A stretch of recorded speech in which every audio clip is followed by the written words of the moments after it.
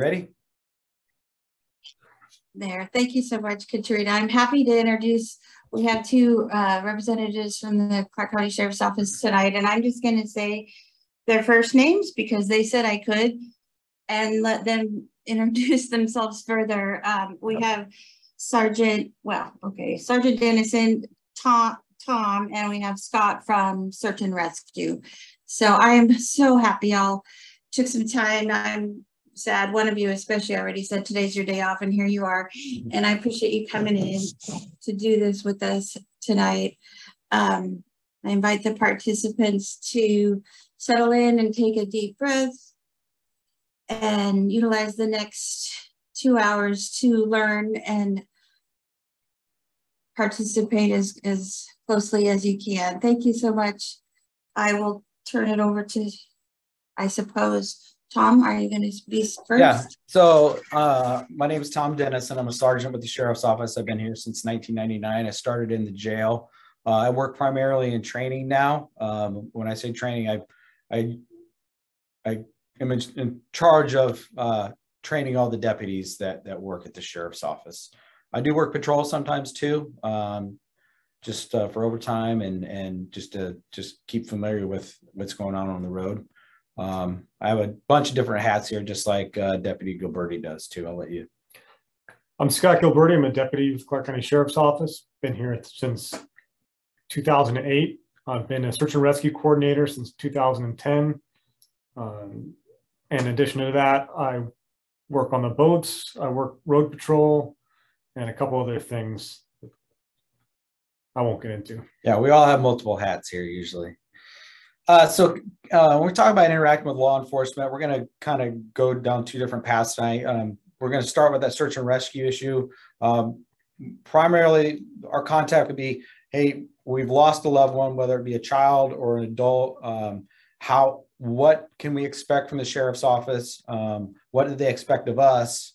Uh, and then, then we'll kind of switch gears and hopefully that uh, PowerPoint will kind of answer a lot of questions for you.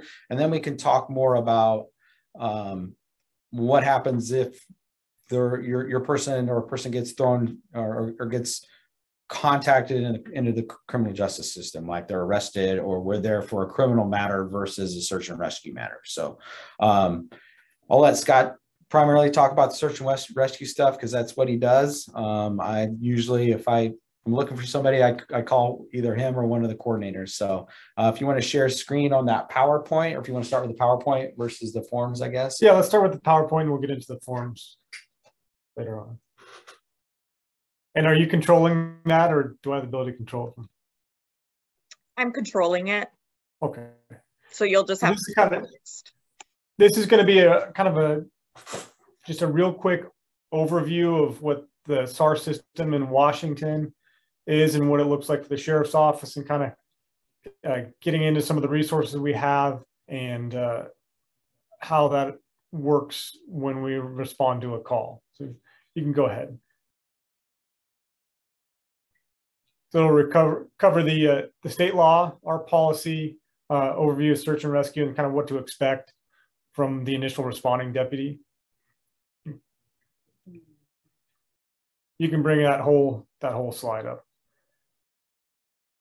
So this is from uh, Washington State Law, uh, Revised Code of Washington, 13-60-010.1b, uh, and it def really defines what a missing person is. So uh, they've changed it over uh, recently to include uh, now, starting in July this year, a missing Indigenous woman or, or, Indigenous person, a person with a developmental dis disability defined by RCW 71A, a person who's believed in be in danger because age, health, mental or physical disability or combination, uh, along with the environment and weather condition, uh, or someone who's not able to return home safely on their own.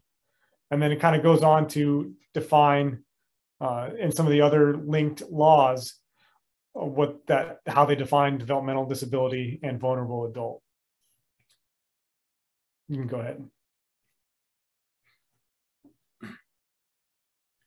So this kind of outlines our, our policy. I'm not going to read through all of it, um, but it's pretty much laying out that when, when we get a call of a missing person, the first responding deputy needs to make contact to gather information. And really, that's the key to this is uh, finding information, gathering information. Um, and it's a lot about how that process works. Uh, feel free to distribute this PowerPoint if someone needs it. Uh, it's not protected material, so if someone wants to read through this and have a have an idea what that policy is, they can have it. You can go ahead. So this just includes more about the policy regarding what our supervisors are required to do when we get these calls. Um,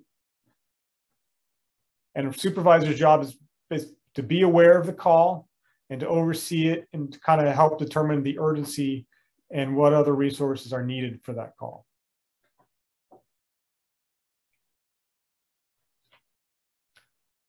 So search and rescue in Washington is a mostly volunteer most of the people involved in search and rescue in Washington are volunteers.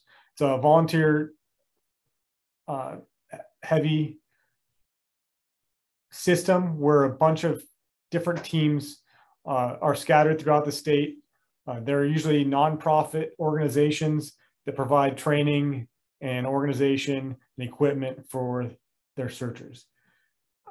All that's managed at the state level by the Washington Military Department and the Emergency Management Division. So regularly we get training, us deputies who are coordinators get training from them about, how to conduct these uh, search and rescue missions. And then we get to the local level, the top law enforcement officer for that jurisdiction, whether it's a chief or sheriff, is responsible for search and rescue in their jurisdiction.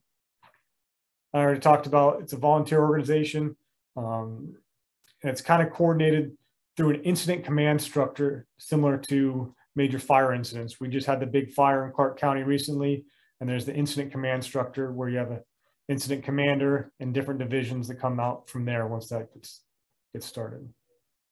Go ahead.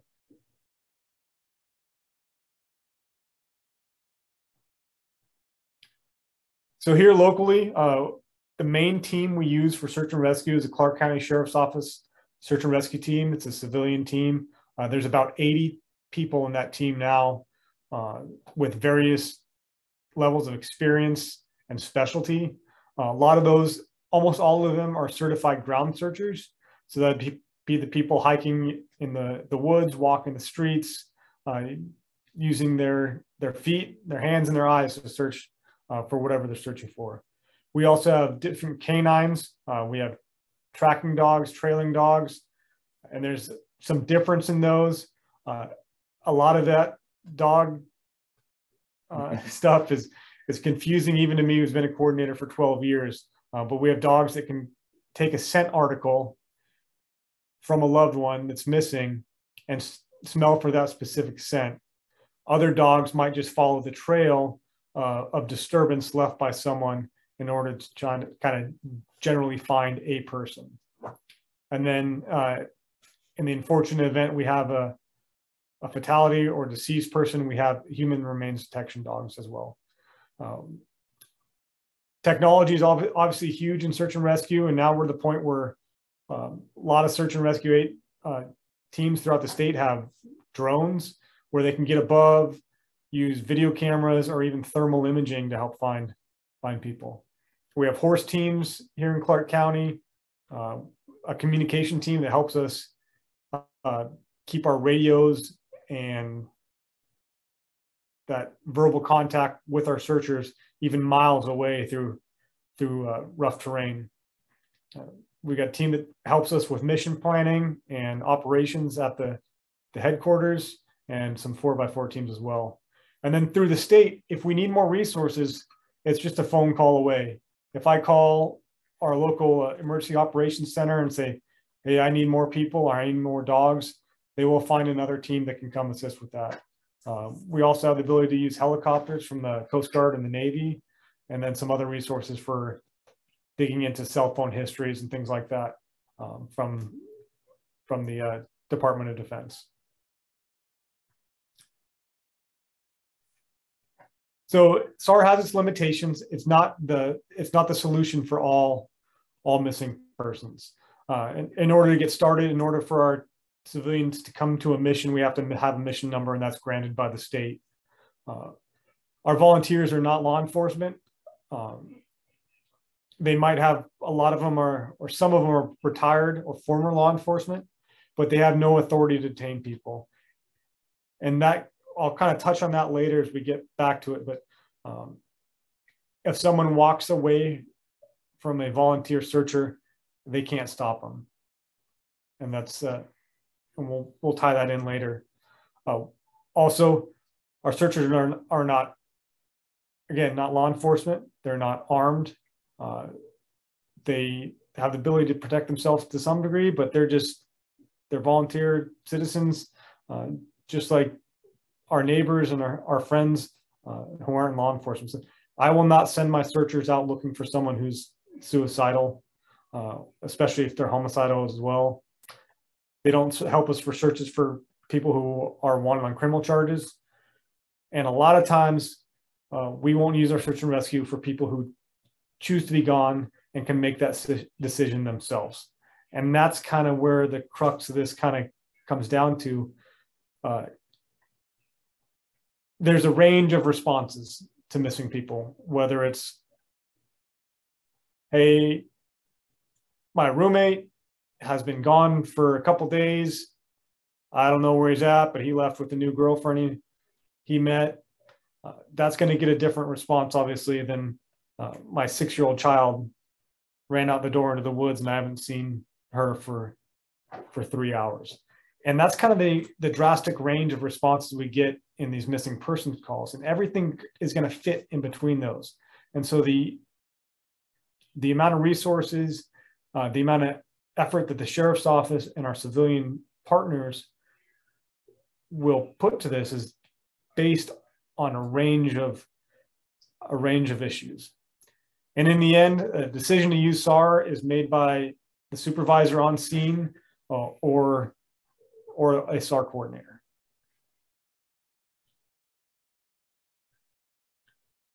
So initially what to expect, uh, the primary job of the initial responding deputy is to obtain information. And I see it occasionally when we get a call of a missing person, especially if it's a more critical, urgent search, this person needs to be found to be safe. Uh, I've I've got to the house to talk to the loved ones, and their initial statement is, "Why aren't you out looking for them?" And I, and it's it's it's difficult to see someone who could be used as a resource to go look, um, but it's essential to obtain information because that information helps us really guide the search. Uh, and without that, um, we can search a lot of areas, but not really get to the point of where we need to be looking. So it's also used to determine the urgency. Again, it's a it's a range of responses. Um, and if we don't have that information, we're not going to be able to determine what the urgency is. And we're going to have a lot of questions. Uh, so if you bring up those one of the two of those uh, those forms, I can talk about that real quick.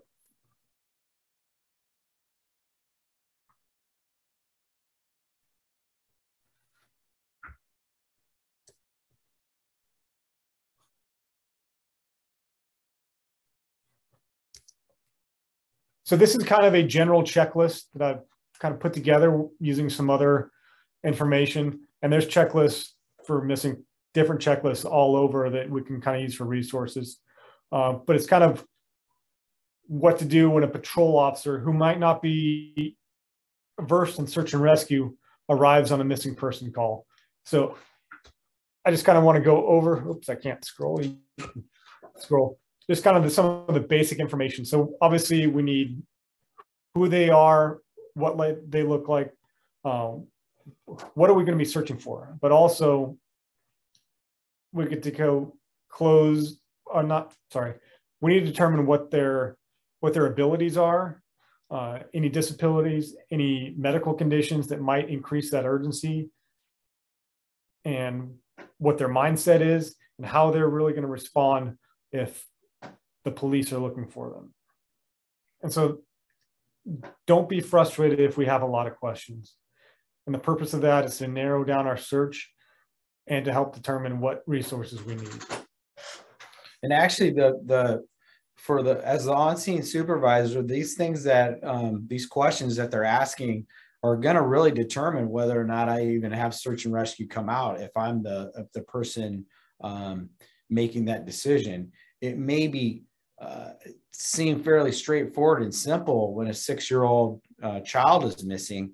Um, right? Everybody knows that's all hands on deck to find the kid. Where it gets more complicated is um, I have a, a person who is an adult uh, of adult age, whether it be 18 or, or 50, and then you essentially have to convince me or the search and rescue of the deputy is why this this adult needs us to come look for them. So you need to provide us with that information. And if it's just oh, well, they've been gone for an hour, you can see where that skepticism rises in us. I'm like, well, that, so what? That doesn't mean anything to me. It's up to the loved one, the family, or the caretaker, guardian to fill in those gaps to make me make a, a, an informed decision. Because absent all these factors and all these things that make it need want to pull out, get a SAR number and pull 50 people to come and look for your family member, I, I need to know some information, right? And go look for them right now. Uh, do your job. Those types of things we hear doesn't it doesn't help me make a decision. Although I understand your frustration level, it's a needle in a haystack. I have to start somewhere, especially when we, we're up north and we're talking about hundreds of thousands of acres of timber. Well, I have to start somewhere. So there's just a bunch of information that I need to gather, the deputy needs to gather on the front end so I can make the best decision for everybody. Because just because it's an emergent situation for me or for you or, the, or whoever's calling in 911 doesn't make it an emergent situation for the sheriff's office or for us. You tell me they've been gone five minutes. Well, that may be a really big deal because they never do it, or it may not be. But I don't know that because I don't know this person. So be prepared to answer a bunch of questions and get specific about diagnosis level of um, uh, you know how high functioning or low functioning they are. Are they verbal nonverbal? Um, are they going to hide from law enforcement? All these things around this form are super important to us and it's not it takes a while to get all this information. So if you bring up the the next form i'll just speak on this this next form briefly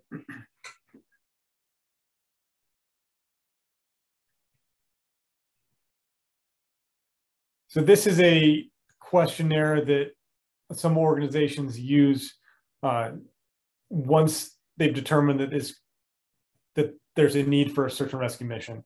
And as you can see, this page, this form is 12 pages, 12 pages long. And just thinking about all the time it would take to fill out this. So this is the information if we really have a search and rescue mission where your loved one is is gone and it's a critical search to find them, um, that it's a, a, life and death threat, uh, it's a lot of questions. And we may not use every single one of these pages, or some of this might not apply, but just gives an idea of what to kind of expect uh, when that investigating deputy or the SAR coordinator comes and, and wants to get information. And if you're if you're with some if you have a, guardian or you know somebody that is a frequent uh, maybe a frequent person who disappears, having some of this stuff preloaded doesn't hurt, right? You can grab this form. Um, a lot of it isn't going to change. Leave the parts blank, like what they're wearing, when they were last seen. All of those things can be left blank because we know that's going to change. But if you have this filled out on the front end name, date of birth, all those things that you may or may not know, it's going to expedite the situation later. For us, you're going to be like, well, I have this filled this filled out. Here, I have all of these things that I know about this person, and then you fill in um, when they were last seen and all the other information that they look for. You don't have to worry yourself or, or about all this stuff that you already have uh, filled out. It just help. It would help expedite um, what so we're trying to do. I saw a couple questions on there. Uh, this form, uh, Brenda, you can provide it to the people who are in this uh, in this meeting. I'm assuming. Um, another question was, how do they get the form to us? Uh,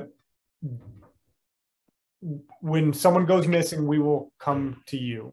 Uh, it may start as a phone call uh, with questions we ask, but we will we will come to you and we will get that information. We might not. I guarantee a, a patrol deputy is not going to bring a missing person uh, form like this, but they'll ask similar questions to the ones that are on that. And if we get into a search and rescue mission, we might have someone else come to ask more questions, to help really direct that search and rescue mission to help us find your loved one more efficiently. I had a comment. Um, are you able to read at least a few of those, perhaps for people that are not able to read it? And then I we just had another comment in the chat that said, just to clarify, if they want to pre-fill out the form, do they keep it then until SAR shows up? SAR shows up. Yes, yeah, something you can have on hand. It doesn't even have to be this form. Just all the important information about your loved one or the person that that potentially has a risk of going missing. Uh, health issues, uh,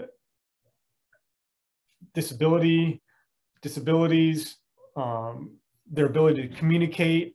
Uh, if they're, uh, I've had some some training in behaviors of uh, people with dementia and Alzheimer's and, and uh, autism and what they're attracted to.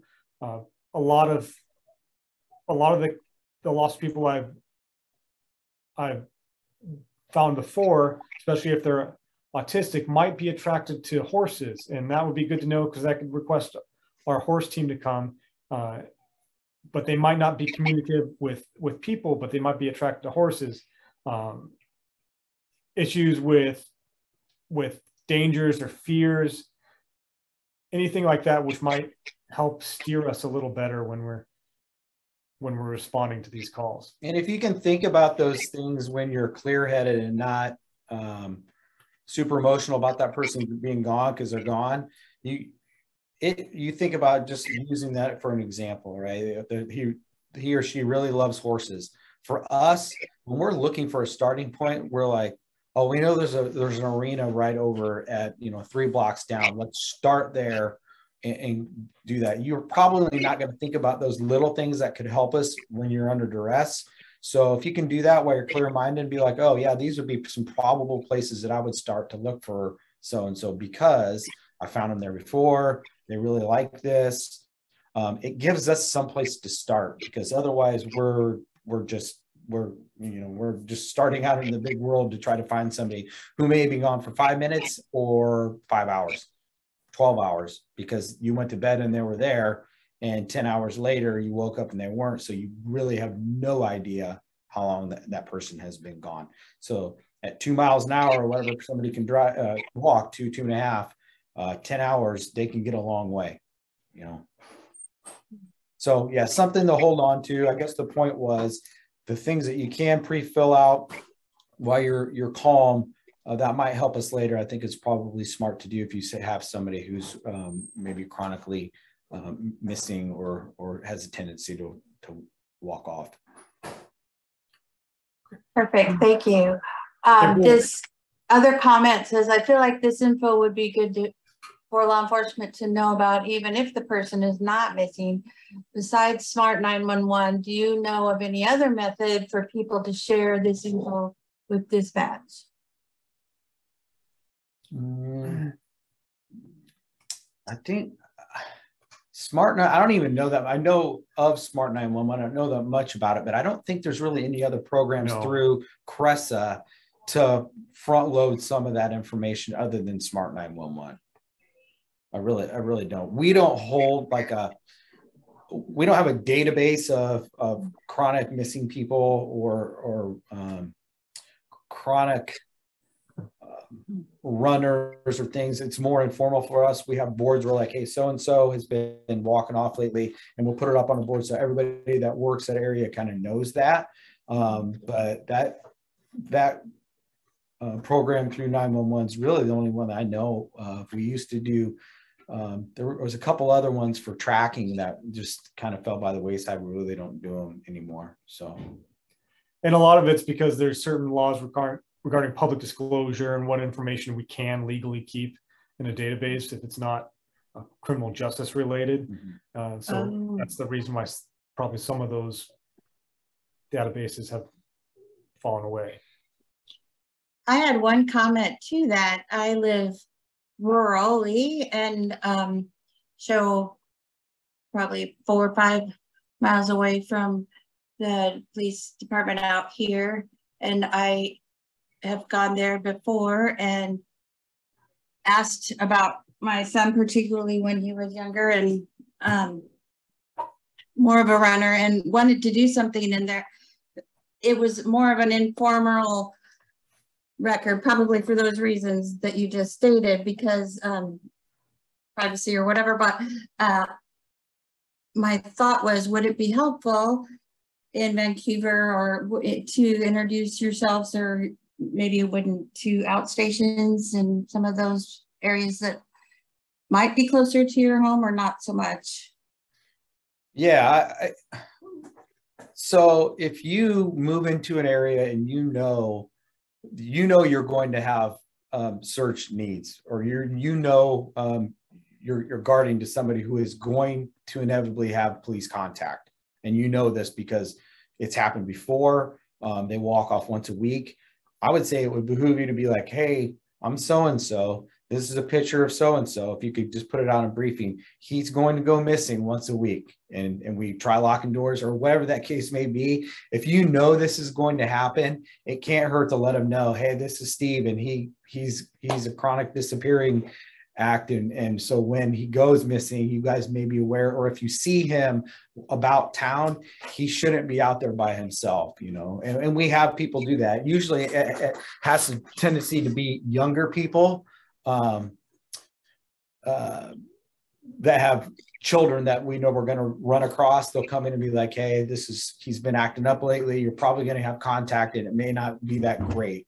Um, so I, I saw somebody said, hey, how, how would you, how do they prefer you, you um, do that? I mean, personally, I, if you live in a smaller town, um, I, I would just go to the police station. Um, for us, like the, um, a lot of times we kick that relationship off because we get a call by, by 911 and then that the informant party goes hey you're going to know my name by the end of the month because you're probably going to be here quite a bit so it just dep- really depends on the size of the agency when you have 100 people on patrol um, it- it's you you're not going to get that personal service that you would if you were with a smaller department simply because you never know who you're going to get um, again, we we form those relationships a lot of, through necessity just by meeting people over and over again.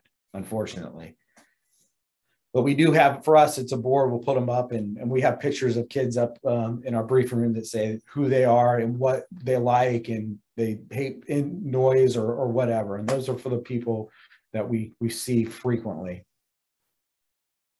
Perfect, thank you. So can we go back to the PowerPoint and we'll, we'll finish that and then we'll stop and ask some questions about the search and rescue aspect before we move into the next, next area.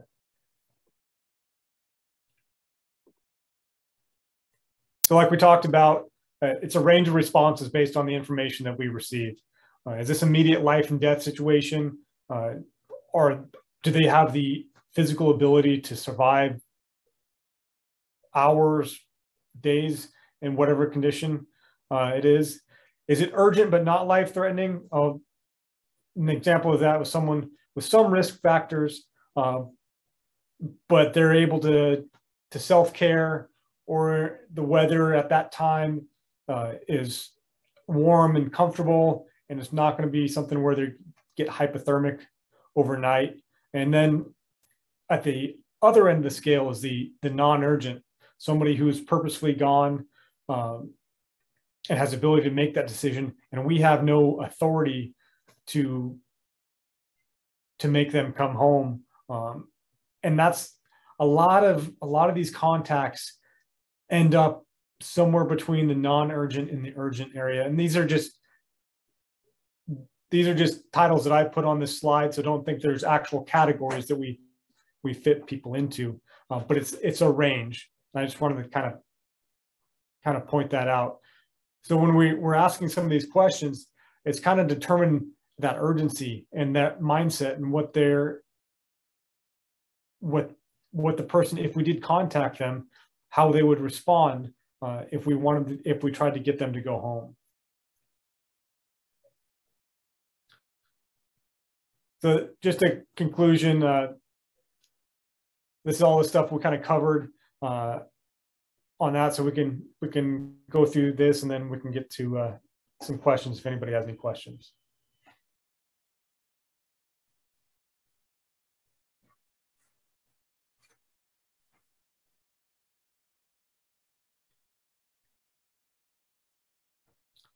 I don't know. We can't really, I can pop that chat up, uh, Katrina, but it's probably easier if you can relay them because it's kind of difficult. I have a quick question. Sure. Um, I'm a special ed teacher in Washougal and teach life skills, so my students are significantly impacted. And um, one of the things I've thought about is like, it's hard for them to have a lot of communication opportunities and abilities to respond. But one of the things I've tried to tell them is say I have an IEP. Um, and I don't know if that's meaningful for law enforcement or not, but like some of my students have a hard time remembering their first name or their last name, Right. um, phone numbers. And um, I also have some students that have like autism, significant autism. And so they pre- present as someone who's deeply impacted, but not sure necessarily why. Mhm. And I'm just wondering what things I could be helping my students and their families um, practice. Well, I mean, for us, again, we see that that full range. So, um, obviously, people who are either nonverbal, they can't give you names, they can't give you um, addresses, some of that stuff. When you're starting at zero for us um, and trying to place somebody, um, a lot of times rely on we, we we only know where they go because we've dealt with them before. But but if it's new, uh, I'd say any IDs that they can carry, um, bracelets, any of that stuff really helps us depending on their level. Now, if they can tell us those things and where they live, not that it's not that big a deal. But again, when, you, you're us in this range is all the way from they give us no information to they're they're showing like this person has no issues.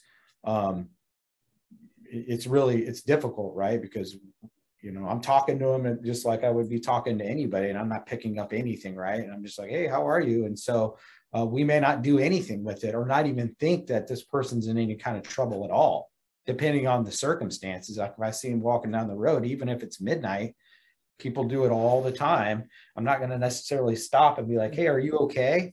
Um, because it just it's just frequent. So, but I would say it's much more important for those who can't give you basic information who you are, how old you are, where you live, a phone number to have something like that about them um, all, all the time. Because if, if it's a wallet and they and they're someone who has a tendency to wander off in the middle of the night, that really doesn't do us any good, right? They're in pajamas or whatever we see them. Obviously, we're going to pick up on that and know they're in need of some help. But um, yeah, it, it is hard. I think another thing for, for families um, of your students is have a, have a plan, have information prepped ahead of time that they can easily give to law enforcement. Uh, that might be more impactful for us than them trying to uh, prepare their loved ones for interacting with with the police. And some of that, uh, some of that's just familiarity and what they what they hear and experience about the the police and um, Mhm. without without school resources as many school resource officers anymore they don't have that face to face they don't see that relationship so the information they get in law enforcement might come from uh, tv or news or or sources that might portray us in a different manner than uh, what reality Well, and one of the things I've had my students do is we practice like, um, tell me who you are. And so I t- say, that's your prompt to get your ID out. Yeah. And then for can we- graduation, we've been get, I've been buying them care bracelets, kind of like a medical alert bracelet, but they're attractive. And they make necklaces and bracelets. And so that's my graduation gift to them. Yeah, I think it's So they those are those are good ideas. Great idea, actually. Um, okay, thank you. Yep. There's two great questions in uh, the chat. Um, Katrina, I'll go ahead and let you do yours. Yeah, so, um, along the lines that you were saying before, so I was told that law enforcement kept track of homes with people with behaviors, disabilities, um, once they've made at least one house call. So if they've called the police before, I've been told that you guys keep record of that. Um, so if, is that the individual's name that you keep record of and their behaviors, disabilities, or is it just associated with the home's address? So for example, yeah, if you saw an individual in the community who was having a behavior, would you know that individual's behaviors because of your system or are they not connected?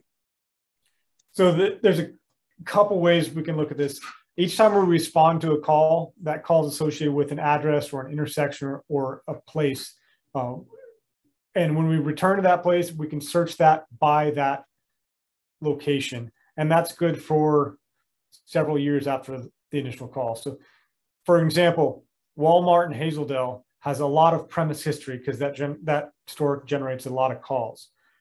And each call, the information they call is determined by what information is provided to the dispatcher by the caller.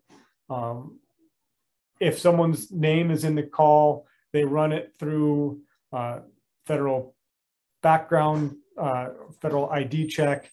Then that person's name will be in the call. Any vehicles that we run will be in the call. But any notes that are in that call are really up to the deputy that responds. And sometimes uh, we don't put any notes in a call when we when we clear it and when we're done with it. Sometimes we put extensive notes. It all depends on the situation. Uh, ideally, each time we dealt with someone who's a frequent uh, missing person, there'd be a lot of information in that premise history that we could access.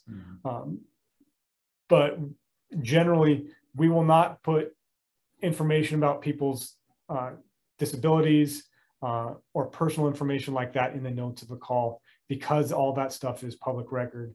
And it, it typically will be um, will be marked out if someone requests that record.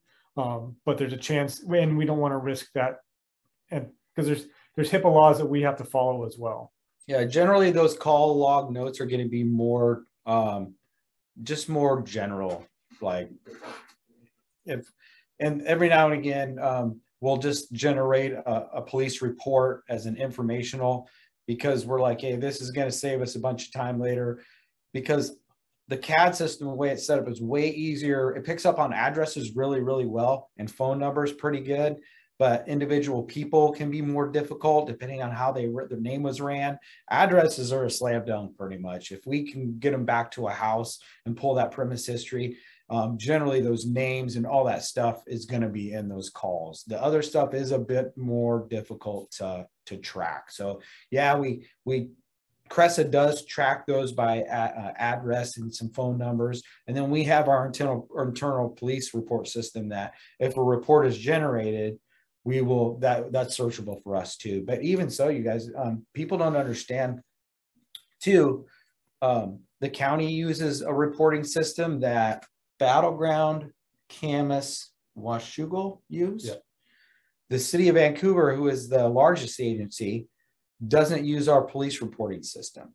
So we can't search theirs. They can't search ours. Now if i if i need that information i have to contact one of their people or their uh, records just to have them check the system.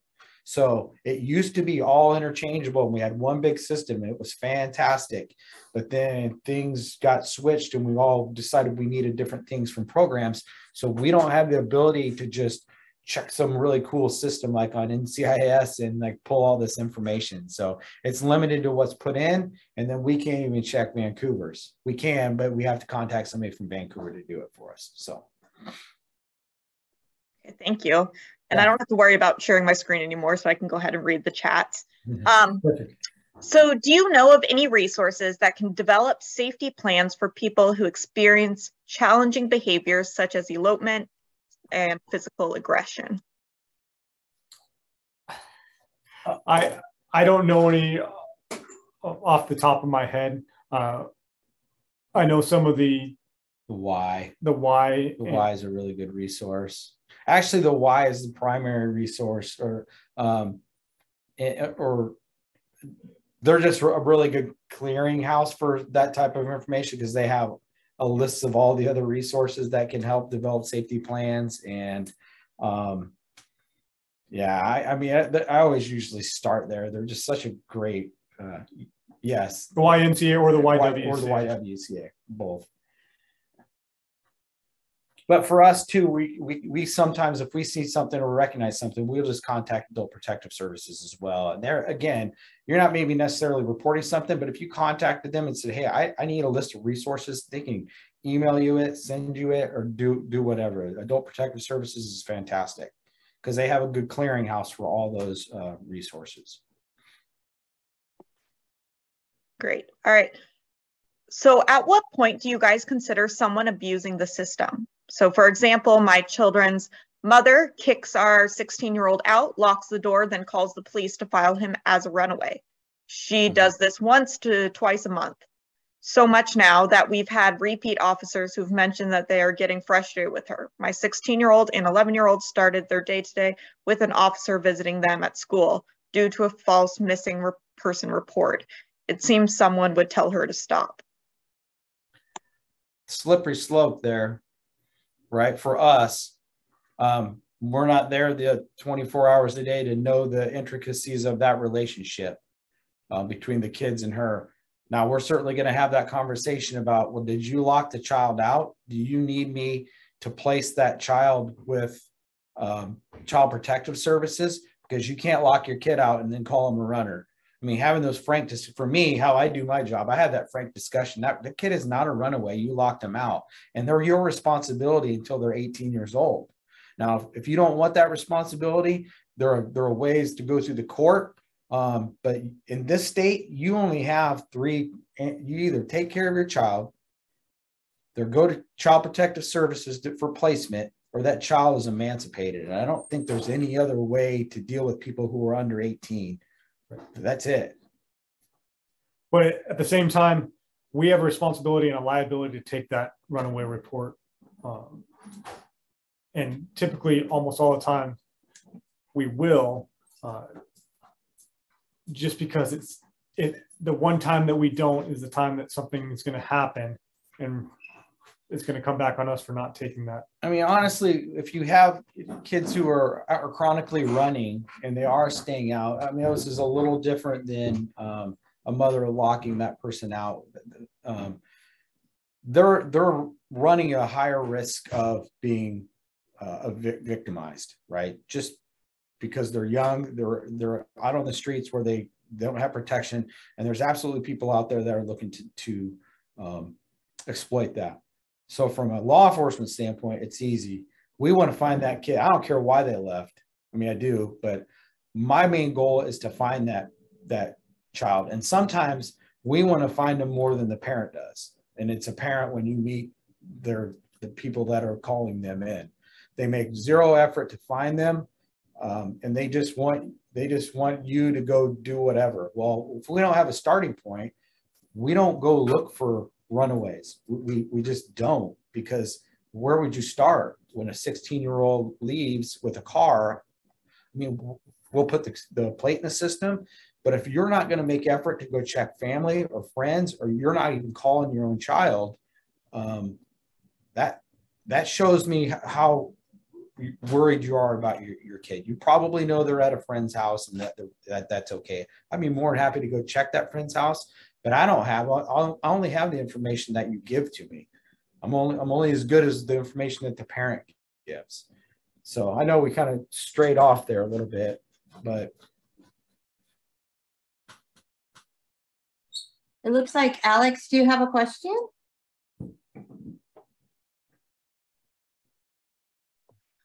Yeah, I just wanted to tell you something briefly that happened to me a while back. I was um, uh, minding my own business, walking or uh, excuse me, not walking, sorry, sitting down waiting for the bus. This was way pre COVID. Um, and some officer came up to me and I uh, was a little bit scared um, about what was happening there or whatever. I was minding my own business, looking down at my cell phone, looking up briefly, waiting for the bus to come to take me to wherever I was going. And I uh, communicated with the officer. He asked me a couple of questions, asked me for my ID. I showed him my ID or whatever, and then then that was that. I just wanted to state that. Yeah, I mean, it's possible they had a, uh, a call in that area and, and had a reason that they needed to identify you. I, I, I don't know. I mean, every situation could be so different, Alex. It's kind of hard to, to say why they would contact you. Right, and then there's another question. So similar question, if a- an adult has an interest in IE and keeps calling and IE keeps responding, would office, would staff who are not guardian be able to step in and also call dispatch and say it is not serious, so don't come? Yeah, it, ha- it happens. It happens frequently. Uh, we have some people that call dispatch multiple times a day, every day for the same same incident or same uh, thing that they're experiencing that may not be reality. And generally, after a while, uh, we will just take those calls for information and not respond. So we don't respond to every call that comes in. Um, and feel free if if someone is calling and there's a, a guardian or parent that can provide more information that can help direct that response, whether it's needed, something else is needed, or no response is needed at all, feel free to call and give that information as well. Yeah, it, if it, and it sometimes depends on what the initial caller is alleging. If they're alleging something serious or a, a crime, and then somebody else calls and says, "Oh no, you don't need to come," we're probably going to show up, you know, just to make sure everything is is okay. But we do, again, like Scott said, we have some people that we know. We've tried to hook them up with services. We know they have um, mental health issues um, and a, a brother or sister will call and say, "Hey, she's having an, an issue right now," and we we know these people because we have a, a, relationship with them through literally some five, ten years of knowing, trying to give them services and them just not wanting it. You um, that we know whatever they're calling in about is not true, just because we we just know it's not. We've we did due diligence and checked it before, and and the things that are um, alleged that are occurring or not. So if we hear from another family member, which we do, say, hey, it's there's nobody in the attic. Um, you know, mom's mom's got dementia or, or have it, it, it does happen. So a couple questions came up. It doesn't have to be a, a, a guardian or a, a parent. If someone else can provide more information or clear information to dispatch, feel free to make that that call uh, as well. And it, a lot of times uh, that will clarify the situation or provide us more information to, to help dictate our response. Uh, and I missed the last one that just came up. So what services do you try to get these individuals connected to? So at first, we try to re- have, uh, if it's something that doesn't meet a police response criteria, uh, we'll try to have uh, crisis response team call in, make that initial phone call to help determine where that can be steered, which direction that can be steered. Uh, but also, if a phone call doesn't work, they're not answering their phone. A lot of times, the crisis response team or mobile crisis will come out in person and ask us to come, uh, one of us to come with them to help facilitate that contact to help better determine how they can help that person. Uh, and as far as other resources, uh, a lot of times uh, we'll get adult protective services involved, or if it's a, a minor, child protective services. Columbia River Mental Health gets a lot as a clearinghouse for a lot of that stuff, and so they can get that information from Crisis. And um, it- I mean, obviously, it depends on what the issue is that they're having. Is kind of which which air which way we steer that, right? Or who, who we who we hook them up with, or who we try to hook them up with. All right, so what if police and CPS have been involved several times and mom keeps locking kiddos out or tells police he threatened her? Police treat kid like he is a troublemaker and assume mom is telling the truth. Makes kiddo not trust cops or the system. Yeah, I would agree, but I don't have a crystal ball, right? And in the end, I make a judgment call on what the kid is telling me and what the mother's telling me.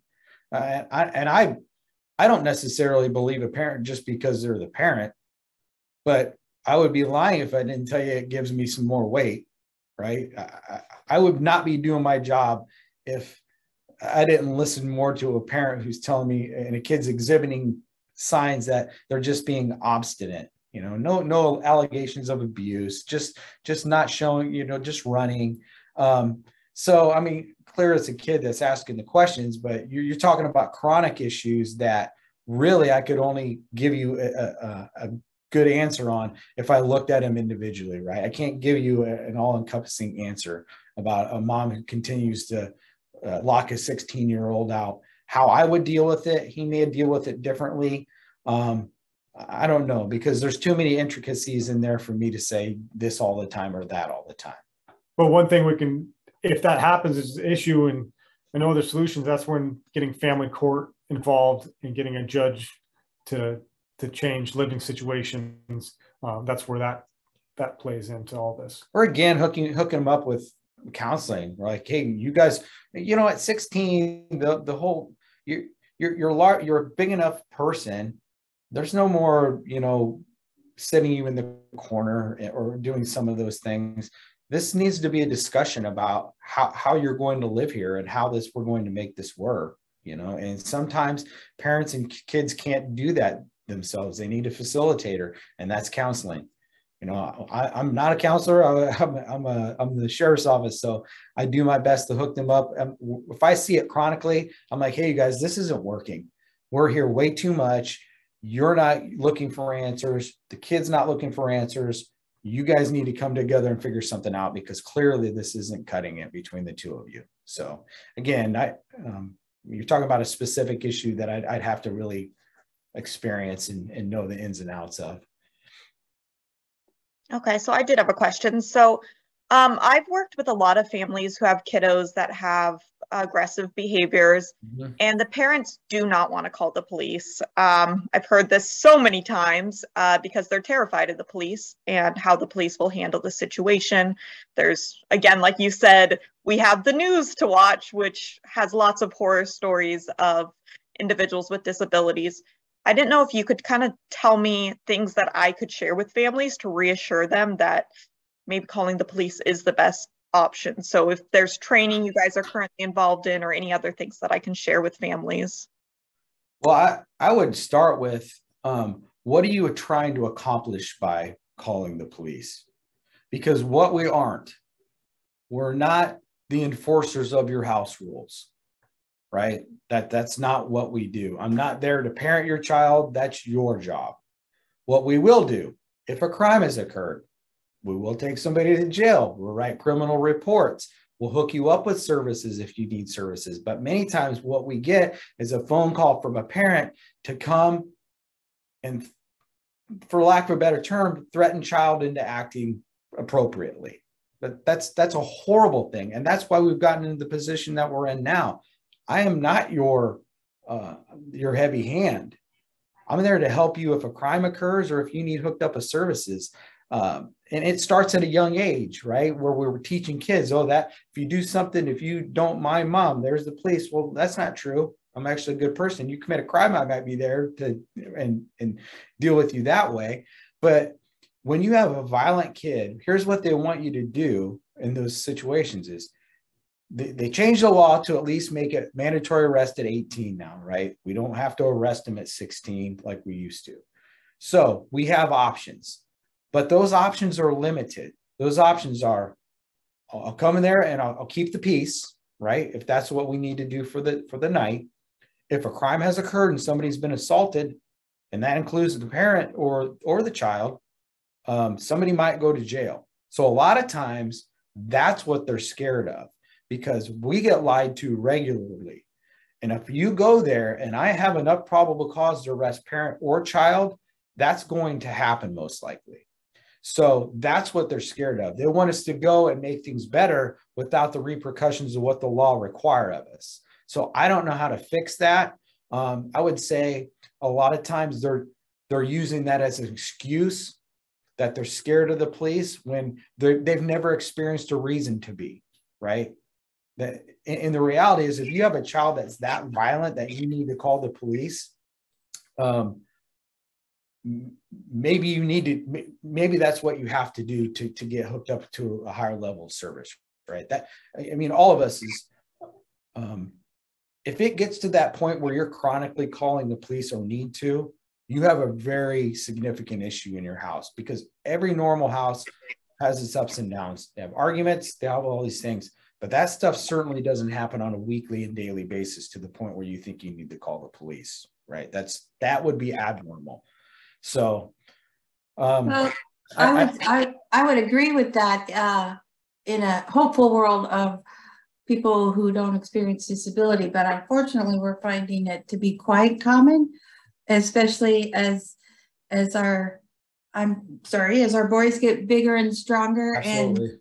and um, moms get smaller and older and it's actually becoming quite a, an issue with a lot of our mm-hmm. moms, particularly. Um, some fathers also, of course. Yeah. I wondered if you, if, is that a time where we could circle back? Can we call and ask for a crisis response team and not the police? And maybe like keep mom safe, but nobody has to go to jail? Or yeah, and it's not a it's not an all or nothing, right? And we we've we see it right where again they're just too they're grown adults. Then there's no there's no physical controlling of that person, right? And then if they're if they have a dis, the type of disability uh, is makes them more a little prone to violence, um, work we're just limited to how we can deal with that. Is what I'm saying is I, I would much prefer it stay in the crisis realm, right? And have someone from crisis respond and talk through the issue um, without there being any any problems. But we've also seen the guardian, caregiver, parent be hurt extremely bad by child, like when it rises to that level. And that's the, I guess, not being in that house every day. That's where I don't know how how heavily that behavior has escalated on on that person's part. And it's a judgment call on the guardian.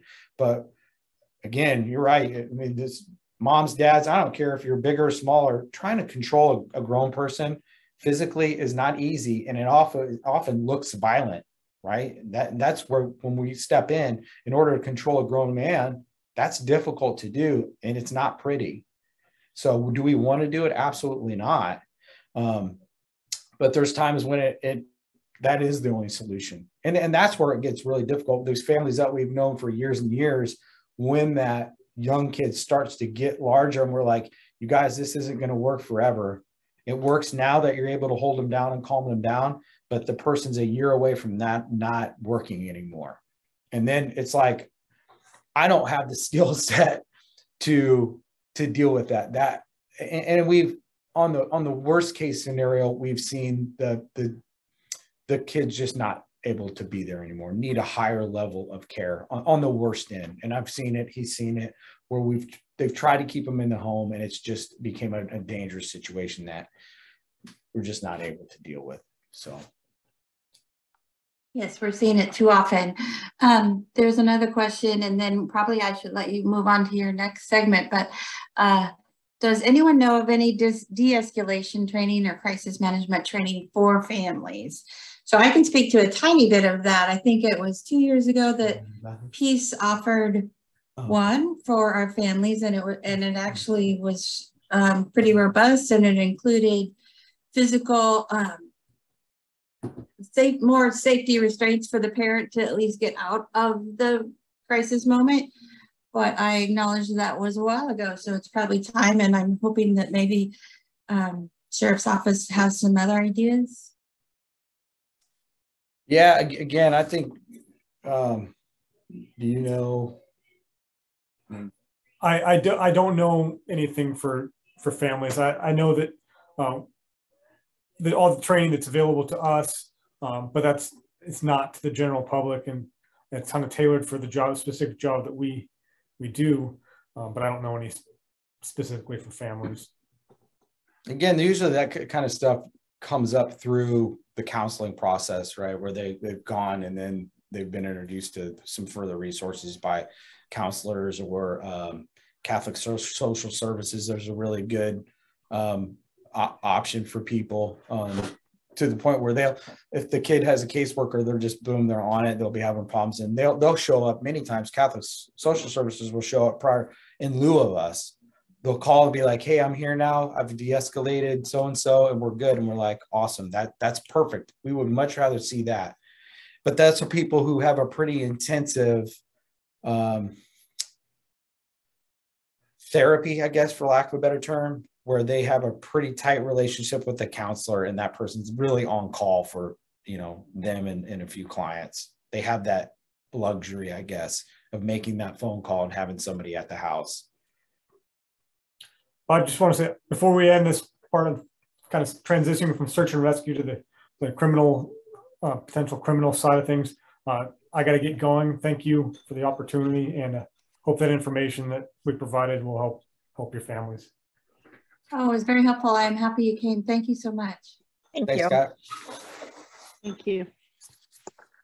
But I'm here. Good, Thank you so much. Um, Yeah, thanks, Scott. Katrina, was that your question there? Yes. Yeah. So, um, first Adrian was asking, is that WISE that you were referring to? Was it what? WISE, I don't know if you're familiar with WISE. No.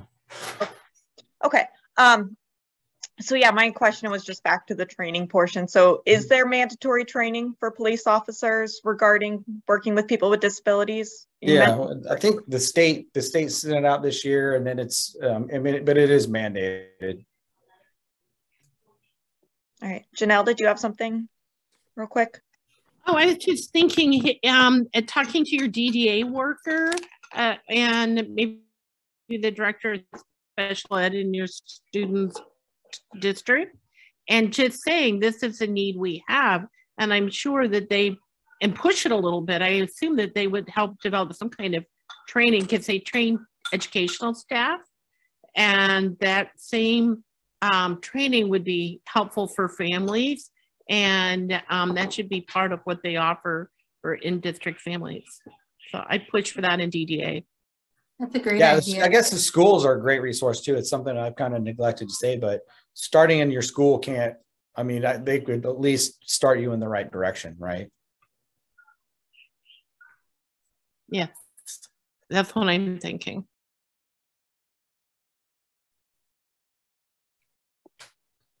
All right, and I was just responding to Adrian, Okay. so.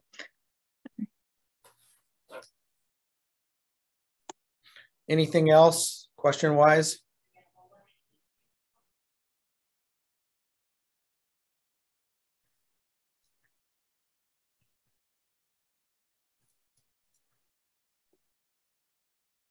I think we're good if you want to move on to the- your next Yeah. section. So we'll talk about, um, and again, this is, we'll talk about what happens if your, um, your loved one or the person you're guarding for, um, gets, um, arrested for, um, well, it's a couple different, different, um, ways that can go.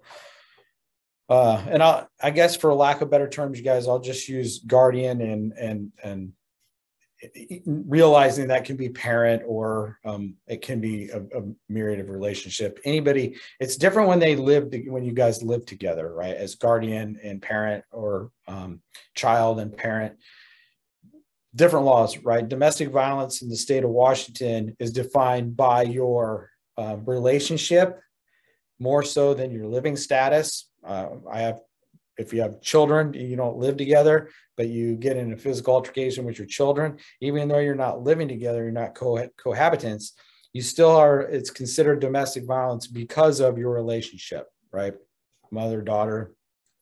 So realize that when those things happen and a physical assault occurs, we are triggered and mandated by law to make arrests if we have probable cause to do so in a, um, in a person who's 18 or over. It used to be 16, and we would take juveniles to juvenile detention, and they would just turn around and call the parents to pick them up. And somebody smart finally realized this is silly and it's not working. It's this isn't the place for this child to be. So now, it- it basically, um, you have not that we don't take juveniles to to juvenile detention when they need it, but we're not necessarily mandated to. But if you have an adult um, person you're a guardian for and you live together, you are in that relationship strictly because you're under the same household. So when an assault occurs or certain domestic violence crimes um, occur, we're, we're required to make an arrest if there's probable cause. Does that make sense? Okay, so we'll, we'll start there. So your uh, your person has been arrested for just say an assault for um, domestic violence, right? A simple assault. Um, they're going to get taken to jail if it's within the four-hour mandatory um, arrest window. So that person goes to jail and they are an adult. They're going to go to uh, the Clark County Correctional Facility, or if they're a juvenile, they're going to go to JDH. Juveniles are different. The parent or guardian can expect a phone call from juvenile detention um, and be a, really much more updated on what's going on with their uh, their child than a person who's 18. At 18, the law presumes you are an adult and your business is your business. So if you call there and looking for information on somebody, just as if you or I um, wouldn't want our information aired, they're not going to do that for that person. And then they're so realize you may be their legal guardian, but that doesn't mean anything to the, the criminal justice system initially. Um, now that may come up later after when you get in front of a judge and say, "Listen, Your Honor, this person um, has these developmental disabilities and they only function at such and such a level," or um, you know, but those are those are decisions that are made by doctors and judges, not at our level. Like I'm not, I don't make, although we take all the, the information into uh, into account. I don't make the decision on whether a person's competent enough to commit a crime or not.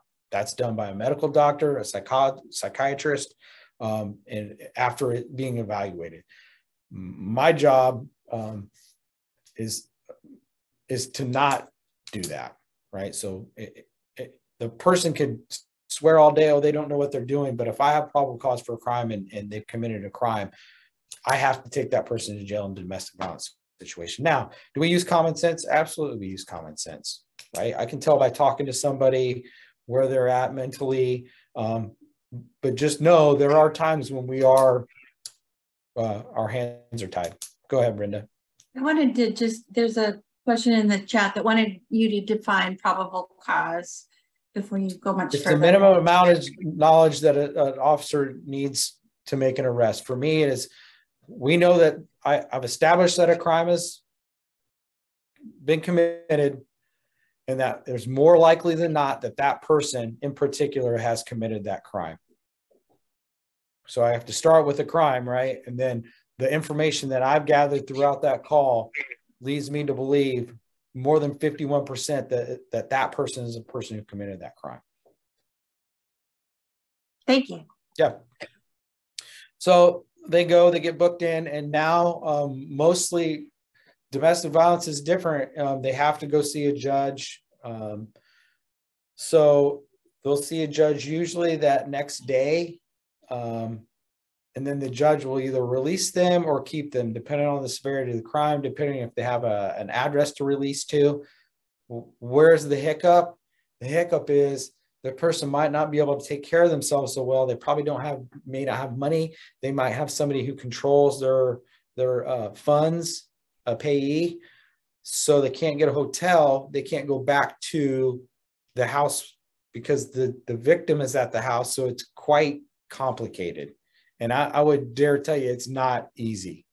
And so the temptation is there to let that person back in, but that in and of itself is that person is committing a- another crime, right? They're, they're usually going to be violating a restraining order at that point. Um, and even talking to that person can be a violation of the restraining order. And the guardian is not going to be the one, it'll be the one who the restraining order is against. So just be aware of that. Now, hopefully the judge can take some of that stuff into consideration and, and make some arrangements. Um, and sometimes they don't find probable cause and everything's, you know, back, they'll just be released. Um, but realize you might not have that option. And so you may need to contact somebody else um, in the system to, to help take care of that person until the, the criminal matter can get sorted out. Does that make sense? Okay, so there's a question, what is the detention center called? Ours is just the Clark County Jail. Clark County, uh, well, it's either Clark County Juvenile Detention Center or just the Clark County Jail.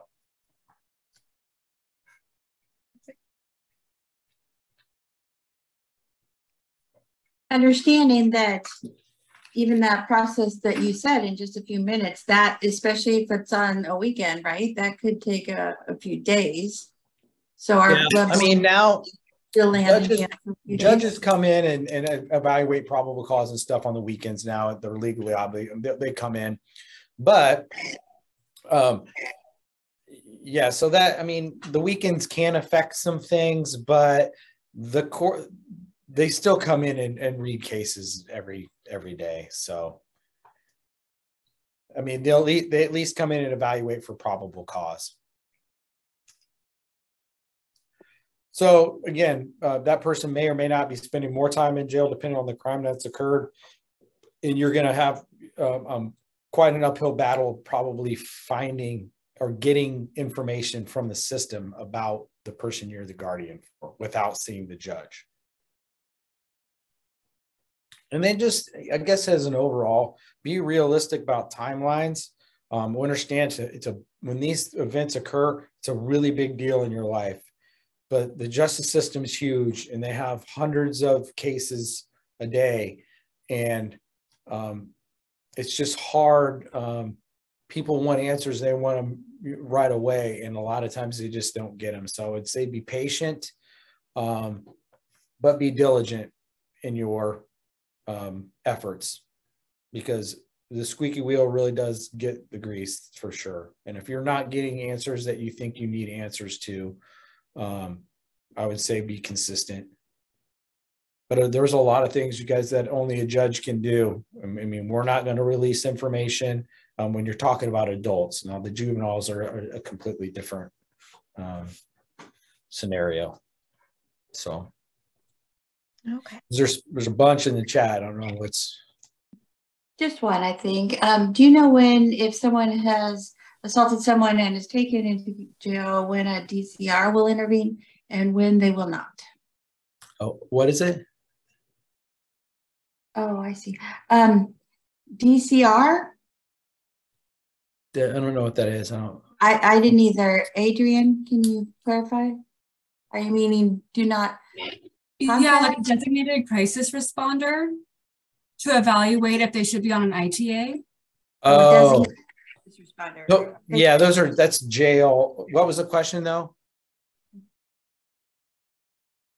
About the- Like if someone, yeah, if someone assaults somebody and so they're taken to jail, Mhm. like when, do you know when like a DCR would intervene and when they wouldn't intervene? Yeah, and that so a couple. It may happen early in the game if uh, if the medical staff deems it necessary. If they're dealing with somebody with some pretty significant issues. If it's a little more hidden, that may be something that the judge um, orders at at one of the hearings. And I don't know exactly. Um, you know, I, I don't work in the jail, but that's something that the jail or the courts would facilitate.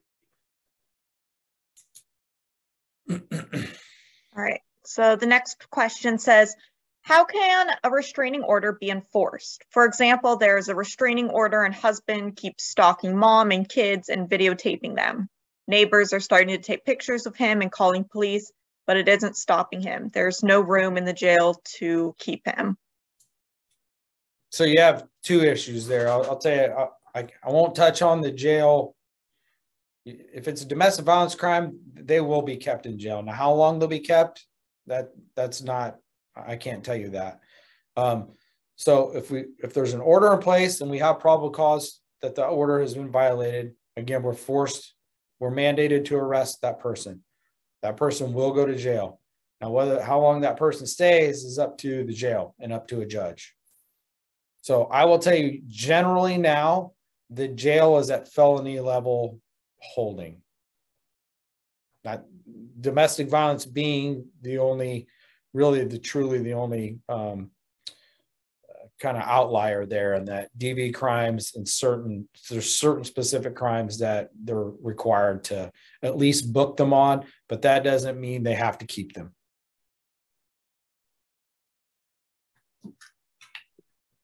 Thank you. Mm-hmm. Uh, I had a question earlier about if your loved one has been taken into custody and um, is on daily, at least, or even two or three times a day, is on medication. Mm-hmm. I hear it a lot that that is a frustration because it takes quite a bit of time before the person in custody is a is evaluated for the medication and then and then allowed to take the medication because they can't take the medication into jail. So are you Yeah. able to talk about that? Yeah, I think, and it, again, you guys, it's been a long time since I've worked in the jail, but think about it from a um, from a, a care standpoint. Like they're going to be evaluated by a nurse in booking. There's a nurse in booking. So this person, say I come in and I say I'm on X, Y, and Z. I've been diagnosed with X, Y, and Z, and I need these medications. And they'll, Which you wouldn't be able to do probably if you have a disability, but sorry, go ahead. depending on the level of your disability, right? I, I don't know. I mean, they're the full spectrum, right?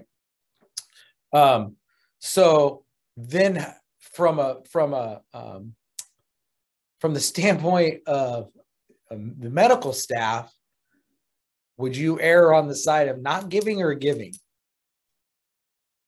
Right. So therein is a difficulty. I think, and again, call my doctor, but but maybe I don't know my doctor right and so hopefully that with the medical staff they can work through some of those issues and get those medications but the reality is some of that stuff if you miss it a day or two you are in trouble right? You're back to back to square one. And so i think it's unrealistic to say there's going to be continuity in a significant number of medications um, especially when they're not life and death medications like i need insulin or i whatever or i'm going to go into diabetic coma and die. If it's um, some of those things where if I don't get it, it's going to be a gradual decline, um, or it's a unfortunately a mental health uh, med where it's it's not going to immediately be impactful to me, but I know that it's gonna I'm gonna have to reset hit the reset button on this whole thing again, and getting my meds just right was hard enough. So I don't know that there's a great, um, you know, I I, don't know how the jail handles that. Um, I, I, can just tell you that it's it's really difficult to be hard to allow somebody to bring their medications because you can't tell what it is. You really don't know, and you rely on that person tell you. And people bring drugs into jail, or they try to bring illegal drugs into jail all the time. So, yeah, I mean, I guess being realistic about um, the level of care in the jail in the immediate short term um, you might not get some of the things that you're used to getting as regular as you're getting it. Especially again, like Brenda said, what if I'm having difficulty communicating that? Um, but hopefully the the medical staff is recognized is able to recognize that hey, we're we're miss something's missing here, um, and so you know contacting with that person's okay. Is it okay if I call your caregiver or your guardian? Yes. And then giving you that call to figure out, okay, what am I on or what are they on? What have they been diagnosed with? Again, without having to restart all of that. What's taken years and years of diagnosis and medication, um, uh, of experimenting with medication dosages and types. No one wants to reinvent that wheel, right? So why why try to fix something that isn't broke? For sure. And then Adrian asked if there's any way a parent or guardian or staff can call the jail to provide records to speed up the process or to assist with the medication list. Yeah, I Um, would, I would think so. Again, I, I don't know for sure because I don't work in the jail, but that just makes sense to me, right? As I'm calling about someone I know you have in jail, they're, they're my person. They have these significant issues. How can I get you these records? I, I- that makes sense to me. Absolutely. Unfortunately, I dealt with something similar to this recently, and it's important, I think, for par- or guardians or parents to remember that the jail staff, even if you are a guardian, will they have to protect that privacy and they are not able to share anything essentially. Mm-hmm. However, you can tell them pretty much anything you want. So I if I were the, if it were my son, let's put it that way, I would share to whomever would listen. Anything that would make their stay, his stay easier and frankly, for him as well as the custody staff that's trying to support him, right? So, but beyond that, I understand that if I were to provide a medication list, then the medical staff still has to go and confirm that on a medical uh, database of some sort to confirm that. But then the other piece is, hmm, when's the last time he took it? Did he have it this morning? Did he Mhm. have it nine times this morning? I mean, so it it just, of course, like um, you just said, don't expect it to be streamlined. Don't expect it, it to be given exactly like you would have given it at home.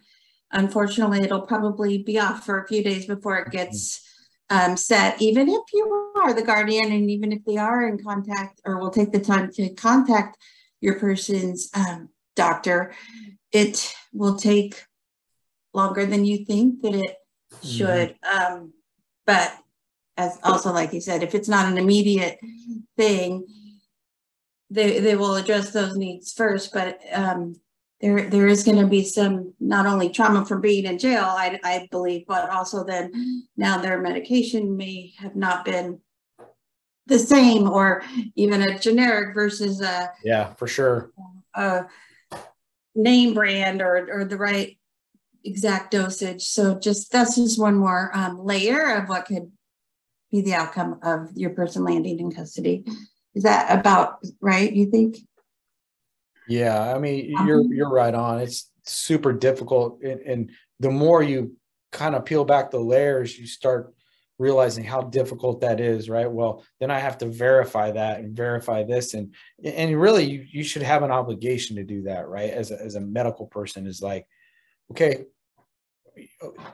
you're telling me all these things, but I probably need to hear from a doctor too that makes sure that we're doing this correctly because there's some danger there when you're when you're distributing medication. I mean, you're responsible for that person.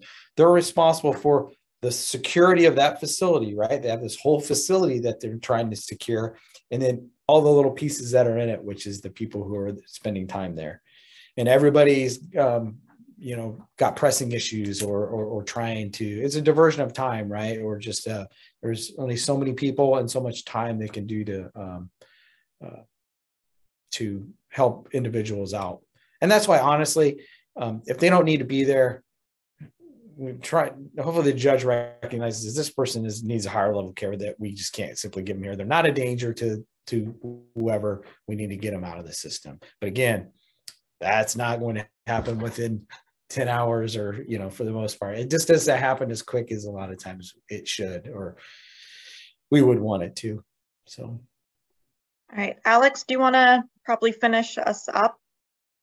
Go ahead. I just wanted to ask if if you uh, not not saying that I would ever want to be in law enforcement, but let's say um, I knew somebody that was in law enforcement. Do they have to live in the same state in order to work in the state that they're working in? No, we have, I mean, we're kind of interesting where we're at, right? That we live right next door to Oregon and we have lots of people live in Oregon. There are jurisdictions that require you to live within a certain geographic area because your response time needs to be within so much. Um, I don't see that here that much.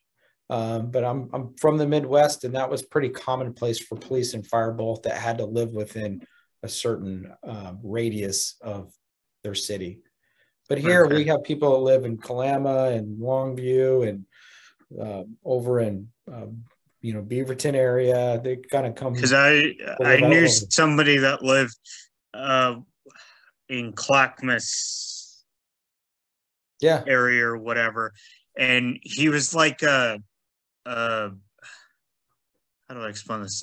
Like a uh, a part time Hmm. person. yeah, like a reserve or something maybe. Yeah, Yeah. for the Clark County Yeah, Sheriff's Office. yeah, we don't have reserves anymore. There were some law changes that made it extremely difficult, but um, yeah, that it, it's pretty common actually. I'd say probably uh, maybe a quarter of us, quarter of the people live over on the Portland side, maybe a little less than that. But Harold was his name. You remember his last name? Rains. Okay, yeah, yeah, he was here quite a while. Yeah, I think he did search and rescue too, as a matter of fact. he was my uh, boss Okay, for the county, but he's since retired now. oh, good. Anything else you guys can think of? It's, it's such a it's a pretty huge, pretty broad su- subject. I'm sorry I don't know more about the, the in custody stuff. I just it's not really my specialty anymore. I recently ran across another uh, little piece of knowledge, I guess, that I wanted you to be able to um, be the bearer of. But I think it's important to let our families know, right? That um, so your person is in custody and say they have a seizure, which is also a little more common in our community they are uh, not going to notify the guardian or parents if they end up well of that happening. And they are not going to notify the family if their loved one is taken into uh, um, the hospital.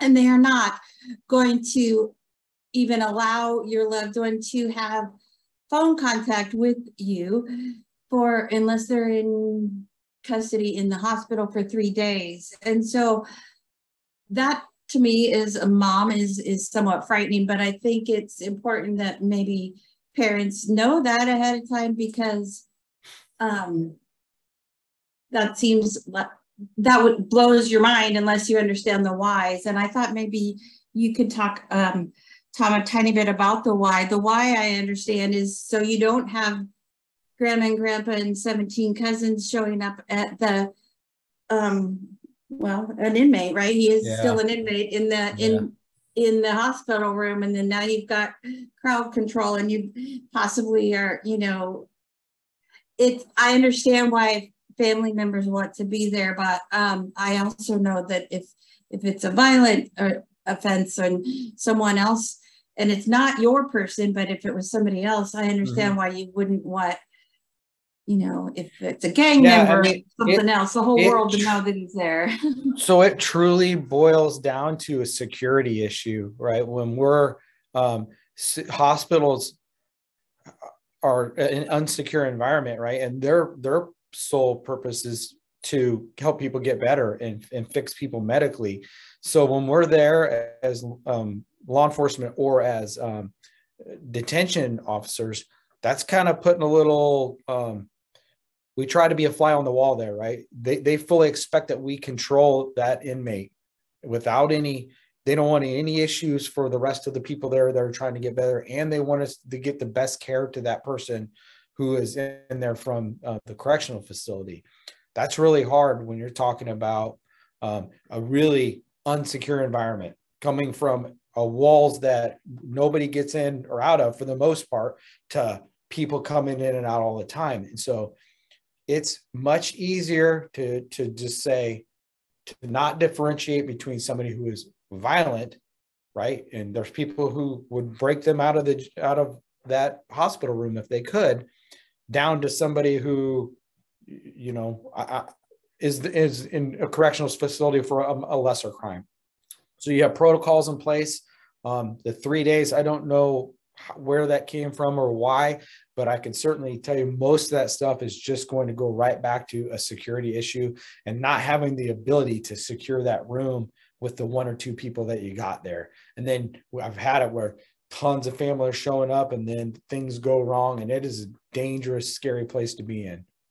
And the hospital doesn't like it, right? They're like, okay, we have patients trying to get better here and there's a bunch of issues going on. So yeah, I don't know. Again, the three day thing, it would just be nice if uh yeah, right back to HIPAA and, and not telling people for for legal reasons. The hospitals being totally separate from from the sheriff's office or detention center. So Yeah, it's security and thank you for, for summarizing that much better than I did because I think we don't think about that as, um, we think of our loved ones generally and we think, oh, they're in the hospital, we need to spend the night and hold them and we can't do any of that and it's all because of security. yeah, and we've had we we we know that we've had violent encounters. We've had Yeah, you know, I've watched mur- murderers and things where they're they're very dangerous people, and then trying to weigh getting them care when they're un- uncuffed or unshackled, it, it can get really unsafe. It's it's you know most people are pretty good because they want to be they want to get better, but it can get um, it's not easy. thank you. Um, certainly we have a little bit more time for questions. If, if, if people have questions they want to put in the chat or, or turn their mic on and ask. Um, in the meantime, I wondered if we might have a moment to talk about, I think somebody wrote, was it four one one in the chat or something? Uh, to problem solve a tiny bit rather than, yeah, four one one, rather than calling the police in the first place, because I know y'all don't necessarily want to arrest our folks. Um, but we also don't want people getting hurt. So if, I don't know, do you have, is there a, um, you know, something else we could be doing or some? Well, I mean, it, it, it truly just depends Um, on what's going on, right? I mean, we don't mind coming and, and as a county, and I think even as a state, um, I, and I don't know what four, four one one is, that, um, I, that's unfamiliar to me. So if somebody knows more about that, then, Bernice, do you want to tell us? 411 is a Clark County hotline that you could call for resources. So, like if you were to say, Hey, I'm looking for a facility for counseling for children, they will pull that up and they can tell you where to go. oh, awesome. Just So, but it's a Clark school- County Like resource. old school four one one, just straight information. Yeah, pretty much. And, and I, think we do a better job now. The interesting part was for a long time, we just didn't have, it was an all or nothing proposition, right? We didn't have anywhere to go. We didn't have where to take them except the hospital. Um, we don't have, we don't have the facilities that we need. Unfortunately, there's millions and millions of dollars thrown at a problem that continues to not get solved. Um, and, and it's not going to happen overnight, but we're doing better. We're having these these teams that are able to respond and do the things that law enforcement's been doing for way too long that are not in our wheelhouse. We- We've gotten really good at them through necessity, but if you're in need of counseling, you don't call the police. You should call a counselor. They would be the best person for that job. Now, do we do it? We absolutely do it as an intermediary but it'd be more per in a perfect world someone just that that has a higher knowledge base of that comes up and and handles that situation so well, I'm not saying in particular just counseling is any resources. yeah for sure you know, Yeah. food banks, anything like that. You can just dial 411 and say, Yeah. hey, I need to know where the local food bank is. Yeah that's awesome i didn't i don't i can't believe i didn't know that but i didn't know that Yeah, I used to work for Emergency Shelter Clearinghouse, which is the hotline for the shelters Okay. in Clark County. And we had access to pull up those resources. Um, it was really a lovely system to do that too. that's great Um, it's great to have a like dial over an operator kind of thing. But Yeah, and and many of the, the these crisis services for us are starting to come online 24 hours a day. That for again forever the big problem was you can help me from 8 to 4:30. Well, that doesn't do me any good at 1 a.m. and we're a 24 hour a day business, and so well, start to realize this is something that needs to be staffed all the time because people don't go into crisis or have these issues just during business hours. Get smarter about it and better about it. We're nowhere near where we need to be. I mean, I, I would like to see um, full a full time a person embedded with the sheriff's office to, to that. That's all they do is is hit crisis calls. Well, it's like the 988 number, you know, a lot of people can dial that now for mental health crisis, except if you have a 503 area code, it's going to show up that way to, you know, them. So they're not going to know where you're at. Right. So Yeah. it's kind of a like- hiccup right there. Yeah, like a clearinghouse. And I know I just saw something about that the other day. They were talking about that with dispatch on some of these technical issues like that that they're trying to remedy, and it's just difficult. Right. Because I'm like, can I change right my voicemail instead of call 911, call 988? And they're like, well, not exactly. Right. well, it's still weird. You'll get in parts of the county that pick up over in, in Portland. Some I mean it's just the way things get routed and it's right. you know. And there's a lot of 971 numbers too. But again, I think we're getting better at it. Um everyone recognizes it. Certainly the the police, the sheriff's offices recognized it forever. We've been dying for help. We're just like, please, this is not what we were meant to do. Um and you know, finally we're starting to get some traction. Alex, did you have a question or a comment? Um, I might have a question and slash a comment. I've tried to um call the non uh uh what's that thing called? Like The non- emergency line, like three The non-emergency line Yeah. to report an issue that I've been seeing along my road, which um, I've tried to talk to them briefly about the issue, but I feel like the issue is not getting resolved. And it's because there's a lot of, um, I, may get this wrong, um, like uh, non-English speaking people live living along my road at that part of the road that um, are not getting the English speaking signs Hmm. on where they're supposed to park and where they're not supposed to park Oh, because there's arrows that direct them to where they're supposed to park and they are not supposed to be parking where they're parking Mhm. and it's because of the apartment building that's right there that can't they when they built it they didn't build it correctly for correct a correct amount of parking spots or something like that Yeah. and the Are parking are on spots are Salmon really Creek? small Are you like on Salmon Creek uh, Avenue? no i'm on uh garrison road Okay. Yeah, uh, Um, it's pretty common anymore. Even some of the new uh, places, they they don't necessarily. And I'm not a traffic engineer again. Um, they don't necessarily. I don't think they make them wide enough, but they have a formula that they use. And um, for us at the sheriff's office, because of staffing issues, we don't respond to um, parking issues anymore. We simply can't. Um, Right. But if you're down there in Vancouver, may or they may not. I'm not sure. I'm not. I don't know how, what their policy Yeah. says. But. i Yeah, we have brought it up right- several times Yeah, and maybe they may be in the same boat as we are. I'm not sure, Alex. I'm not. I don't. I just don't know. yeah I know for Adrian, us, I did- can speak for us. Adrian Sorry. has a question.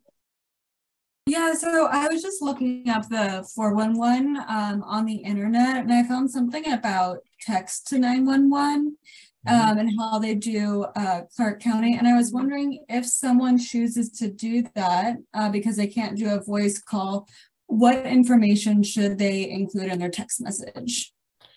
Um, depending on what what you're calling for, right? Is an emergency or or what? But yeah, we we I don't want to say it's uncommon. It's you know it doesn't happen all the time, but we get texts into nine one one um, frequently. Most of the time, they're like emergent, like um, but base, the basic information, who you are, how to contact you if it's text only, um, and an address and then what your issue is. I mean, you got to start with there what what the problem is and who you are and where you're at. Okay. And if, you, if you can text only, obviously, if you have an issue that you need somebody to come, that's not emergent, I guess, but you still need to talk to somebody. That's the best way to do it. Is like, I, you know, we're clearly not going to handle this call via text. It's just too much. So someone will have to show up. Okay. when we, when we began this evening, Katrina said she had a million questions. So do you have any more? Um, well, I was kind of thinking back to what you were saying about parents who don't want to call the police because they don't want their kiddo to end up in jail. Mhm. And thinking about that, I think it's much, much more complicated. Um, also, a lot more intense in the sense that parents are afraid of restraint, they're afraid of their kiddo getting shot. Um, I think it's a lot more than just the fear of jail. Um, I don't know. I know restraint is a big one. Schools have, a lot of schools have stepped up to get rid of restraint. Is that something, or have you guys looked at alternative methods instead of restraining individuals? Uh, like what? I guess. Um, I guess my my first thought is talking them down, but you're saying that's more. Sure, that's always our first. I mean, here here's the reality: is I, I you could what if it to to death about the response you're going to get from the police. One of them is based in reality, and the other one isn't. But if it's your reality, that's your reality. If you're if, if you're scared that the police are going to shoot your kid, I guess that's your reality. I would never dream that. Then again, I've been a cop for 25 years, and I've just never seen that in our community. Now, having said that, depending I'm not a magician. And so a lot of the things that are available to the parent, like restraining or talking them down, that's that's all I have available to me, right? And I we certainly start with talking to that person, but if a person's not open to communication and you limit them but my response down to restraint, that's kind of where I'm at. I, I don't have this magical ability to make people behave themselves or do what we're asking them to. So we do our best, man. We do we do not want to get in a fight with it, especially a juvenile. There is that that is the biggest loser you've ever seen. From how, how is that a winner from the police standpoint? It's not. But you call me to to help with a problem, and sometimes, unfortunately, that's the corner we get backed into. You've committed a crime, or there's a victim. We need to take that person to jail. They don't want to go to jail. When, when we've we've talked this thing to death so we're at a point now where I only have a couple options, and they're like to go hands on with your person. That's, I mean, they're they're if there if I had a, a, better, easier way, I would be a bazillionaire because every law enforcement agency in the plan would want my idea. And we have, you know, we have less lethal alter- alternatives, right? We have tasers and all those things, but all of them in, in employ some sort of force right? I mean, to varying degrees. We certainly like we want to start as low. If I could talk everybody in, I mean, our goal is to talk everybody into handcuffs. And for the vast majority, you're talking about millions of encounters with the police over the course of a year, and then a fraction that end up with lethal force. Very small fraction mathematically. So somewhere in between there, we're doing it. We're just talking to people into handcuffs a lot and that that's generally what happens but sometimes when they're in crisis that's really difficult to do because they're not they're not even listening right they're not able to even or even if they're listening to you they're just not in a state to be able to to do that And so we try, we do our best and we talk and we talk and we talk, but at some point, um, we're like, okay, we're spinning wheels here. We need to go on to a different plan. But we look to the parents to help out. I'm like, is there anything w- like tell me triggers. Am i if i'm making it worse than making it better because you're here with them every day. Um, if you don't think we take our interactions with juveniles extremely um, uh, serious uh, you're wrong. We do. We no no one wants that to happen with somebody who's we don't even want to do it with adults let alone kids and the law recognizes that right? There there it's written statute now. You need to recognize that person. If they look like a juvenile to you or claim to be you need to treat that person differently or or, ex, ex, or exhaust some other efforts. And i think it's absolutely correct. Yeah, when I lived in Spokane, um, I talked to some officers and they said that they were employing mental health professionals. Mhm. Um, and that those mental health professionals would go on some cases to individuals' homes and stuff. Do you guys have something like that here? So all of ours are a crisis team that we call. We do have juvenile crisis teams, but again, we're back to this unrealistic expectation. Again, if we could have one in a car 24 hours a day that just drove around, one for juveniles and adults or multiple, because the last time we called for, or I know I called for a juvenile crisis, uh, we're, you know, 35, 45 minutes into the call where we're like, we're not getting anywhere. And they call us and they're like, see you in an hour. And you're like, okay, well, what am I supposed to do for an hour? And this person who's all over the board. So, I mean, we can do better, but some of those issues are systemic in that um, I, I would love to have them embedded. And the, and the, the departments, the largest, Seattle does a pretty good job of that, right? Um, the people that have it figured out are the ones that know that they need to be embedded and be out there all the time. There, there's just there's there's no better way. They, they shrink response times. They get familiar with people. That's the way to go. We're just not there yet. mm-hmm Hopefully soon. Yeah. It's all about money You know, Alex, how we use it wisely. I would tell you initially, yeah, but now they're throwing a lot of money at the problem and it's still not being solved. I look at- I mean, I, I'm not gonna get into how much of the money wasn't even spent, but um, there's money there. We, we, we just, it's, it's not easy. None, none of this stuff happens overnight. Hiring people and getting programs in place isn't simple. It's very difficult and it requires, um, like we said, money, time, resources, and some really good ideas, right? Some alternative ideas to what's been going on forever because it's not, it's no secret. It ain't been working that great.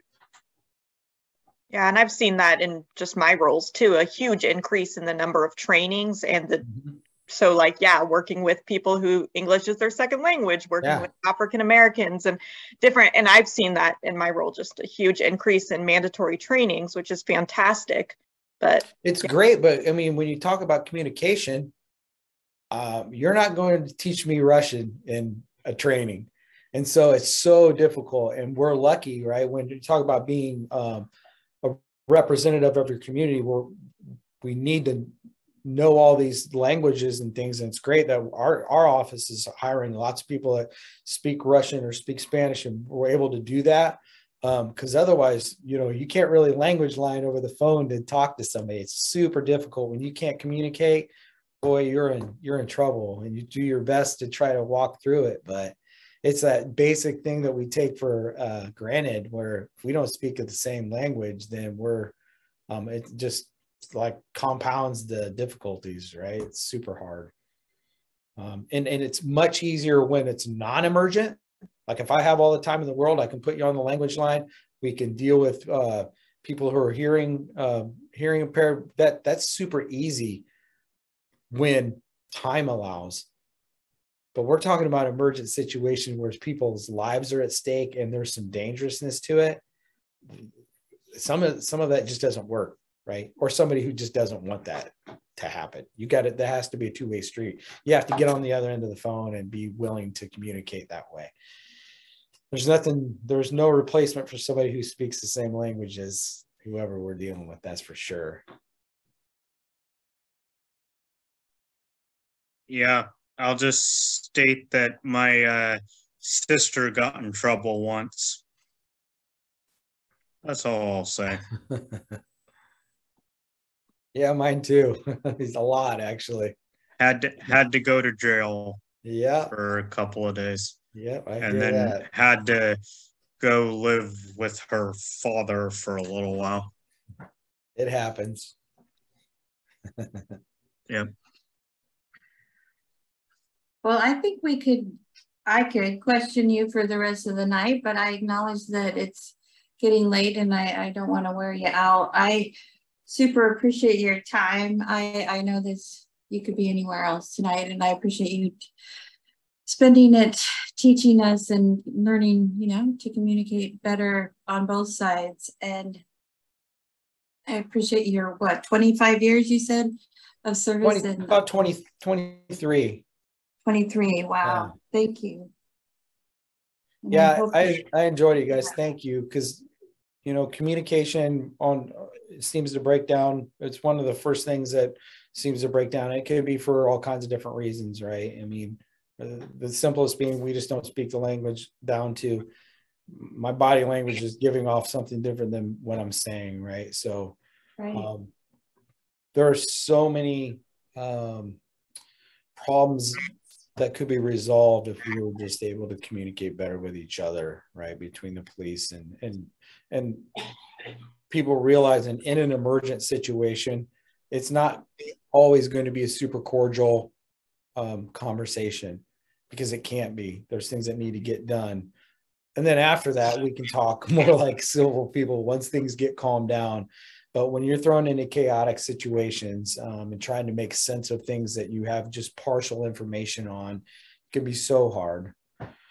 It's hard enough just when things are, you know, I guess normal for lack of a better term. Well, thank you for going to work every day and helping support um, law enforcement and family. So Thank you. Thank you. No, I appreciate it. I appreciate what you guys are doing. well, thank you, and you've gotten about four or five thank yous in the chat here, and I, I'm just so happy you spent your time with us tonight. I appreciate everyone else that hopped on the call and Later, Brenda. helpful. Later, Alex. Later, Brenda. Have Yeah, a good thank you. If you need anything else, Brenda, you got my number and you have the my my email and stuff. So um, just let me know. I will, Yeah. thank you so much. Hey, uh, Brenda, don't ever Yes, ma'am. forget your red jacket. I will it's not, I will wear that for the holidays, right? Yep, gotta have it. Thanks, what you I remember. Thanks. Yes. Later. Thank Have a you. good night. Thank You you. Bye. too.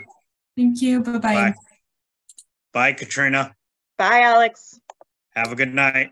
Be safe. Don't do anything too stupid and uh, be real. And I'll talk Thanks. to you next week 'Kay. sometime. Sounds good. See ya. All right. Bye.